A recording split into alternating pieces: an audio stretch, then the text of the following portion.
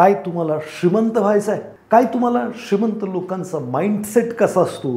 तो माहिती करून घ्यायचा आहे. मित्रांनो खूप साऱ्या लोकांकडं खूप सारे गुणवत्ता आहे खूप सारं टॅलेंट आहे. परंतु ती लोक गरीब आहेत स्ट्रगलमध्ये आहेत. आणि असं एकच कारण आहे असं मला वाटतं की त्यांचा माइंडसेट हा गरिबीचा आहे. आजचा व्हिडिओ खूप महत्त्वाचा ठरणार आहे. ज्या लोकांना आपला माइंडसेट बदलायचा आहे श्रीमंतांचा माइंडसेट करायचा आहे अशा लोकांसाठी. नमस्कार मित्रांनो मी आकाश गोंदावले. मागच्या बावीस वर्षापासून फायनान्समध्ये काम करतो आहे दहा वर्षापासून लोकांना फायनान्शियल लिटरसीच्या माध्यमातून आर्थिक स्थैर्य देण्यासाठी मदत करतो आहे तर आजचा जो विषय तो फार महत्त्वाचा आहे. विषय काय? की श्रीमंत लोकांचा माइंडसेट कसा असतो? तर बघा साधं सोपं आहे. मी असं म्हणतो की पाच प्रकारचे स्टेट ऑफ माइंडमध्ये लोक जग. त्यातले अतिशय महत्त्वाचे मला दोन जाणवतात आणि मॅक्सिमम लोकांचे हे दोनच माइंडसेट दिसतात. मग त्याच्या पुढचे जे आहेत ते फार रिअरली दिसतात आणि काही ठिकाणी ते जाणवत पण नाही. तर हे दोन जे माइंडसेट आहेत किंवा आपण म्हणूयात स्टेट ऑफ माइंडमध्ये लोक जगतात पहिला आहे ज्याला इफेक्ट स्टेट ऑफ माइंड म्हणतात. म्हणजे काय? की त्यांच्या आयुष्यात जे काही प्रॉब्लेम्स आहेत जे काही नकारात्मकता आहे जे काही अडचणी आहेत जी त्यांची गरिबी आहे या सगळ्या गोष्टींना ती लोक कोणाला तरी दुसऱ्याला जबाबदार धरतात. दुसऱ्यामुळे ते तसं आहे असं त्यांचं मत असतं. आणि मग त्यांचं कसं असतं की सुरुवातीला त्यांची जर गरिबी आहे तर ते काय म्हणतील? आई वडिलांनी चांगली प्रॉपर्टी कमवून ठेवली नाही म्हणून मी गरीब आहे. किंवा मग माझा बॉस आहे ना तो सॅलरी वाढवत नाही किंवा चांगला पगार देत नाही म्हणून मी गरीब आहे. किंवा माझी बायको अशी आहे माझा नवरा तसा आहे म्हणून मी गरीब आहे. किंवा गव्हर्नमेंट बाबा काय पंधरा लाख रुपये देणार होतं त्यांनी दिले नाहीत म्हणून मी गरीब आहे. म्हणजे काय? की यांच्या गरिबीला कोणीतरी दुसरं जबाबदार आहे. आता ह्या दुसऱ्या लोकांना बदलणं शक्य आहे का? बॉसला बदलणं शक्य आहे का? बॉस पगार वाढवत नाही म्हणून मी गरीब आहे. बॉस कधीच पगार वाढवणार मी कायमचं गरीब राहणार. ह्याला काहीच करायचं नाही मित्रांनो याला म्हणतात इफेक्ट स्टेट ऑफ माइंड हे जर नापास झाले तर हे काय म्हणतील? मॅडमनी चांगलं शिकवलं नाही. किंवा काहीतरी दुसऱ्याला जबाबदारी धरतील. हे स्वतः जबाबदारी घेत नाहीत. आणि मग ते गरीब राहतात. आणि मग हमेशा रडत राहतात. त्यांना सगळं फ्री पाहिजे द्या द्या द्या द्या द्या द्या. आणि जे लोक घेतात ना ते गरीब असतात. जे देतात तेच श्रीमंत असतात. द्यायला शिका. देणं खूप महत्त्वाचं आहे. वेळ. आता मी इथं काय देतो ज्ञान देतो माझ्याकडं जे काही मी पुस्तकातून वाचलं आहे वेगवेगळे कोर्सेस केलेत त्याच्यातून समजलं आहे ते मी काय करतो देण्याचा प्रयत्न करतो आहे मी मागायला नाही आलो तुमच्याकडे. मी द्यायला आलो आहे सो देण्याची वृत्ती हा एक माइंडसेट आहे. किंवा हे स्टेट ऑफ माइंड असतं श्रीमंत लोकांचं. द्यायला तयार असतं. ते फक्त पाहिजे फुकट. द्या द्या द्या. जर तुम्ही फुकटचं मागत असाल तर तुम्ही गरीब माइंडसेटचे आहात. आणि दुसऱ्याने बदलायचं आहे मला बदलायची गरज नाही. त्याच्यानंतर श्रीमंतांचं अतिशय महत्त्वाचं स्टेट ऑफ माइंडमध्ये जगतात असं मला वाटतं ते म्हणजे कॉज कॉज म्हणजे काय? की मी कारण आहे माझ्या परिस्थितीला माझ्या वागण्याला माझ्या गरिबीला माझ्या श्रीमंतीला. मी पास झालो नापास झालो मी जबाबदार. मॅडम नाही. मी अभ्यास कमी केला. मी एफर्ट कमी घेतले. म्हणून मी नापास झालो. मग मला जर पास व्हायचं आहे तर मला एफर्ट घ्यायला लागतील मला अभ्यास करायला लागेल मला वेळ द्यायला लागेल ही मानसिकता आहे. आणि ही मानसिकता हे जे कॉस्ट स्टेट ऑफ माइंडमधले लोक आहेत त्यांची असते. की मी जबाबदार माझी गरिबी आहे. मग मी नाही जाणून घेत आहे एक्झॅक्टली श्रीमंत कसं व्हायचं. बरेचसे लोक मला कमेंटमध्ये सांगतात सर आमचा पगारच दहा हजार आहे. का दहा हजार पगार आहे का नाही स्किल वाढवत? वाढवा स्किल्स सेलचं स्किड वाढवा. नवीन नवीन गोष्टी करण्याचा प्रयत्न करा. तुम्हाला कम्फर्ट झोनमधून बाहेर यायचंच नाही.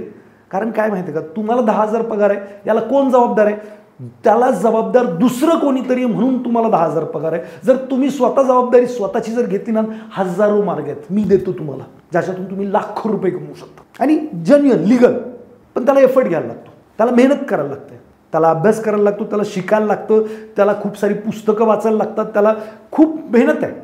टाक्याचे घाव सोसल्याशिवाय देव पण येत नाही. मराठीतली फार मोठी म्हण आहे. का रडताय मला दहा हजार पगार का तुम्हाला जास्त पगार असावा? काय असं तुम्हाला येतं? कदाचित दहा हजार सुद्धा जास्त मिळत असतील तुम्हाला तुमच्या कुवतीपेक्षा. कुवत वाढवा. सॅलरी वाढते सगळं वाढतं. आपला प्रॉब्लेम काय आहे? मी हमेशा म्हणतो लोकांना की आहे ना पहिलं आहे ना आयुष्यात सफल व्हायला लागतं.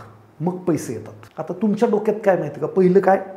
पैसे आले पाहिजेत मग मी सफल होईल मग बंगला येईल मग गाडी येईल. हे मटेरियलिस्टिक गोष्टी आहेत. माझ्याकडे एक टेलिकॉलर आहे तिला आहे ना सफल व्हायला लागेल टेलिकॉलिंग करण्यात. ऑटोमॅटिक तिचा पगार वाढेल. ती काय म्हणते? नाही मला पहिला पन्नास हजार पगार द्या मग मी एफर्ट वाढवते किंवा मी एफर्ट घेते. दॅट्स इट संपलंय तिचं.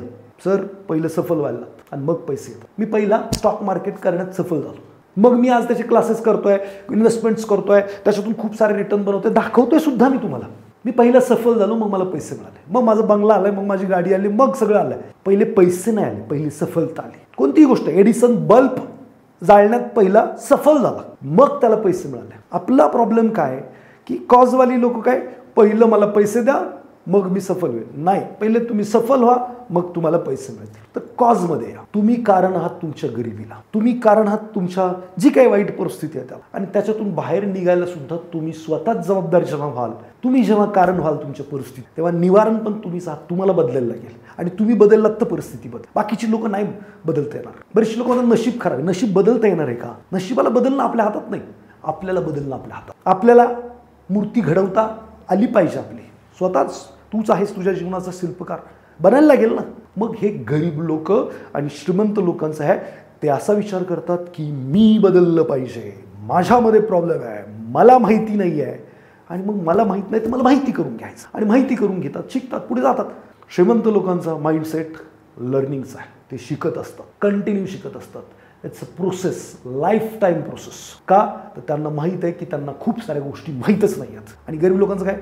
त्यांना तर माहितीच फार कमी असते. त्यांना वाटतं मी फारच हुशार आहे. मला सगळंच माहिती सगळं कोणालाच माहिती असू शकतो कुठलाही माणूस असेल तो देव नाही आहे सगळं नाही माहीत असू असं म्हणतात दुनिया अकरा डायमेन्शननी चालते.